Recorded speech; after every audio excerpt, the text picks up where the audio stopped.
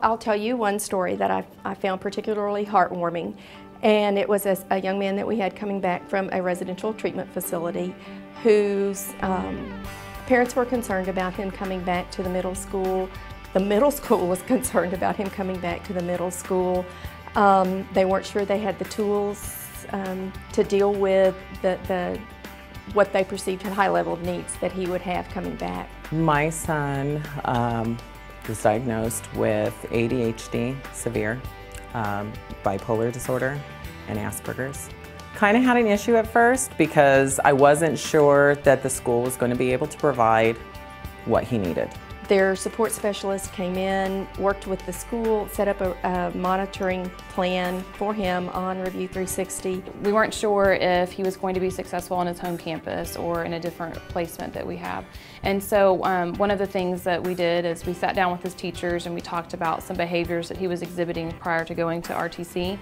And we decided that we would document the behaviors and use the strategies um, as a team. We were able to look at certain behavior patterns, um, look at all the things that he was doing in school during the day, where he needed support, what was working and what wasn't. I think that you can get involved in negative conversations or of just about behavior and not about what the student is capable of doing, what the student is successful doing, and you kind of hone in on the stuff that inconvenience you or that's a distraction.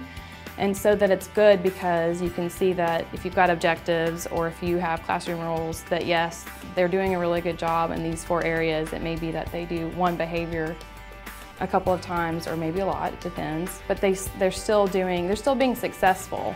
When you've got consistency with these kids, um, consistency at school and consistency at home, and the answers are always the same for them, um, he can't play one person against another. He can't, you know, pull, oh, well, I didn't do that today, or I don't have homework, or, you know, something to that respect. We know.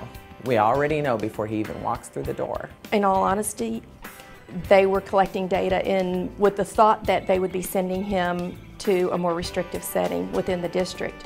Once they got the plan up and going and the, all his teachers were dealing with him in the same way and his parent was receiving that information, uh, they said, um, as his principal said in a, a, meeting that I was in, we're not sending him anywhere. He's one of our great students.